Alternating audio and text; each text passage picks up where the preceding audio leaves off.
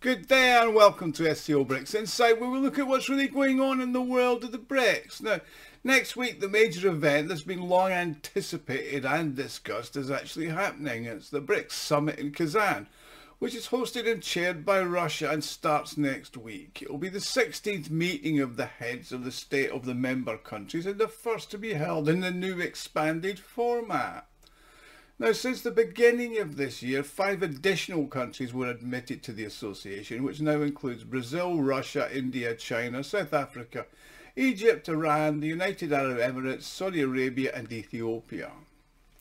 Now, the meeting in the capital of the Republic of Tatarstan is going to be the most representative in the history of the association, with over 13 non-Western countries participating.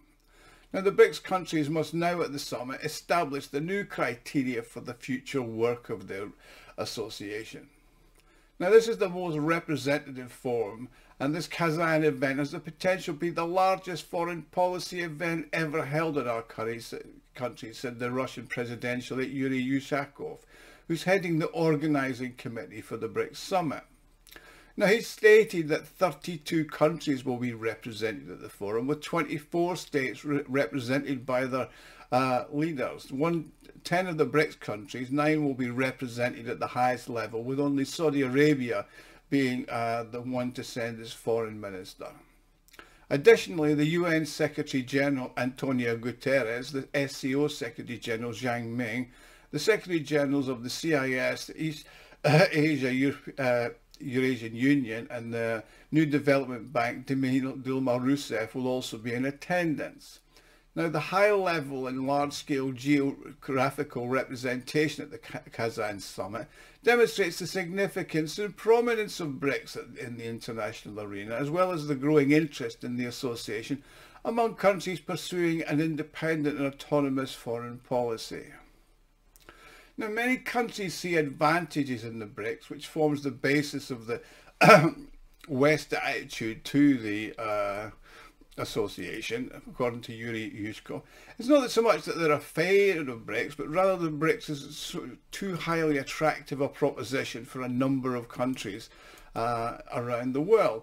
And the West has traditionally maintained a close membership policy for its associations, with even the countries that economically and politically are now strong have been excluded from membership at the likes of the G7. Now before I continue I'd like to make an appeal. If you like and enjoy my videos you can help me fund the channel and my website scobricsinsight.com by making a small donation which is done by clicking on the thanks button at the bottom of the video screen. Everybody who donates does get a personal thank you from me and I'm thanking all of you now for just watching because every viewer is important. Now this applies obviously to China and India. BRICS is much more a democratic association which offers absolutely equal, mutually respectful interaction and cooperation, said Ushakov. Now, responding to a question of why is the West reluctant to engage with the BRICS, I mean, Ushakov highlighted that a significant number of states reluctant to embrace international relations that are shaped by the unilateral decisions of only a few countries. I think he really means the USA. Now, the Kazan summit will comprise of two parts. The first will be a meeting of the organisation's member countries which will address the theme of strengthening multilateralism for an equitable global development and security.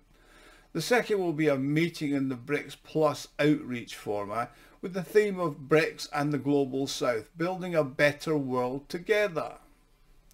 Now the primary objective of the forum is to facilitate a more seamless integration of the new member countries into the existing multi-level cooperation framework.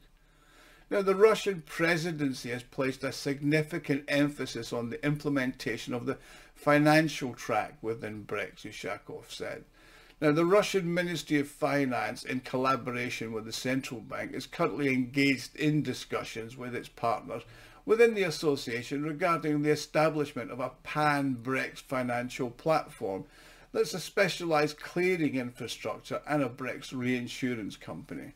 Now the launch of these activities and initiatives will facilitate the practice of settlements in national currencies and reduce the costs associated with mutual trade.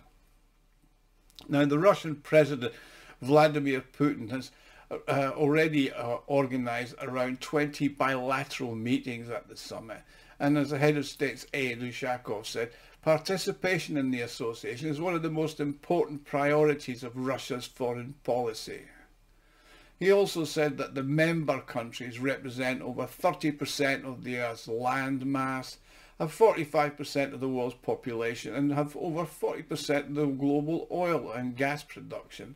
Plus they have about uh, 30% of the world's trade in goods. Now by 2028 it's estimated that the GDP of the BRICS countries by purchasing power parity is going to be almost 40% of the global uh, total, while G7 will account for only 27%. Mean, that's according to the Russian presidential aide, who says, we believe that the BRICS is a prototype of multipolarity, a structure that unites the global south and the east on the principles of sovereignty and mutual respect. Now there's a growing interest in, uh, from other countries in joining the BRICS. To date, 34 countries have indicated an interest in pursuing full-scale membership or at least collaboration in its various forms. I mean, according to Ushakov, the doors of BRICS are open to like-minded countries that share the main goals and principles of the association. However, there are different points of view regarding the new possible wave of BRICS expansion. He added that there's no unified approach within the association on that subject yet, but a number of states are confident that the expansion should be delayed, while others are in favour of accepting new members and have su suggested even specific countries to be included. But of course, it's not a simple issue, and of course, the leader of the BRICS members uh, will make the deal with it at the summit, the president's aide said.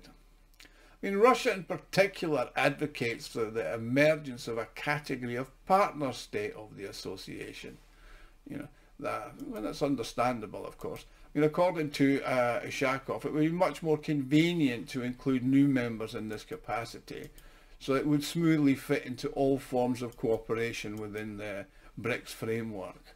I mean, the Russian presidential aide highlighted that certain states have chosen to take part in the summit and are facing pressure from the West uh, for doing so. I mean, Serbia is facing a significant external pressure in the process of its cooperation with the EU. It's subject to constant conditioning by various actions and conditions. Now, the BRICS format is based on mutual respect and it doesn't impose conditions on any of its members. Ushakov says no one at the summit is asking for a choice between the two options, BRICS or the EU. He stated that the Russian Federation is aware of the challenges that its Serbian ally is facing and we are confident that those in Belgrade will make a decision that meets the interests of the Serbian people. I mean, Russian President Vladimir Putin did extend an official invitation to his Serbian counterpart, there, and the Serbian Deputy Prime Minister Alexander Vulin during a meeting in Vladivostok uh, did say that the Vucic had not uh, decided to decline the invitation, but he's not actually confirmed his presence as yet. Although time's running out, he's been lucky to find somewhere to stay if he doesn't get a move on. So if he's not really going to attend, then he's going to send somebody else from the country. I mean, a year ago, a number of members of the Serbian parliament submitted uh, a bill for consideration regarding uh, Belgrade's accession to the BRICS. Plus, the Serbian leader himself reported that he would be invited to the association of the summit in Kazan. So let's see. Now, in a recent statement, the Deputy Prime Minister, uh, Vulin, highlighted the potential for BRICS uh, to serve as an alternative to pursuing the European Union membership for Serbia. So we'll see how that kind of develops. I mean, in light of the West's growing emphasis on defining Serbia's foreign policy priorities, the prospect of rapprochement with Moscow appears to be at odds with the country's new stated plans for European integration. We'll see how that goes. Meanwhile, Turkey submitted an application for full participation in BRICS and President Recep Tayyip uh, Erdogan will be in attendance at the summit, according to a report by the Russian Deputy Foreign Minister Sergei Ryabkov. I mean, an interview with Izvestia, Alina Sebnetva, who's a research fellow at the Department of Near and Post-Soviet Politics, of the Russian Academy of Science. She said that Ankara is seeking to project a more prominent role on the global stage. I mean, the Turkish Republic is pursuing a strategy of becoming a supranational power, which requires it to engage with a range of blocs and platforms, not obviously just the EU and NATO. Plus, the analyst highlighted that Ankara currently doesn't receive any special benefits from the framework of its existing associations, i.e. the EU uh, or the NATO. I mean, she also gave an example of NATO. Turkey's been excluded for a number of the potential op uh, opportunities there, including the F-35 service production programme. In the same situation is evident in the European Union, where Ankara is asked to do more than it gets in return, and is constantly accused of non-compliance with the Copenhagen criteria. So, she believes that the BRICS represents an important avenue for non-Western uh, development for Turkey, which is why participation in the summit and joining the alliance is actually pretty crucial for Turkey in its looking into the future. I mean, Turkey is drawn to the unification by the non-Western composition of the participants. Plus, China is a member of the alliance and Turkey is developing extensive macro corridors, including transport and economic ones, uh, from Europe over to China.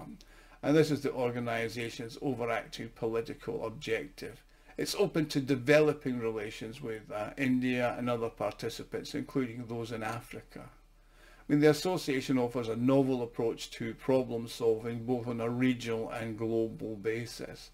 So you can see why exactly they want to do it. I mean, the accession of disparate states to BRICS uh, is openly challenging the West's uh, dominance and it reinforces the inclusivity of BRICS and also its vast potential for solving problems.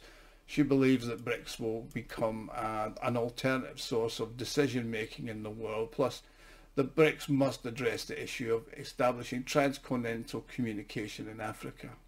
Mean, there are initiatives that facilitate economic growth in African and European countries, the Near East and the Middle East are now linked with new opportunities emerging in the logistics sector and a rapidly growing market for goods and services. So there are sufficient raw materials, resources, labour and technology. Issues are solved through interaction according to the analyst. So Amina highlighted that um, interaction in BRICS is conducted in accordance with straightforward and different rules from the multipolar world, unipolar world. There's no pressure on countries to comply with Western dictates and they can trade in national currency and as a result retain a large volume of their financial reserves. I mean, the development is gradual and countries are completely different, so it would be unreasonable to expect this to be uh, implemented quickly, but we shall see. The accession of a significant number of states demonstrates the potential success of this happening, so we shall see.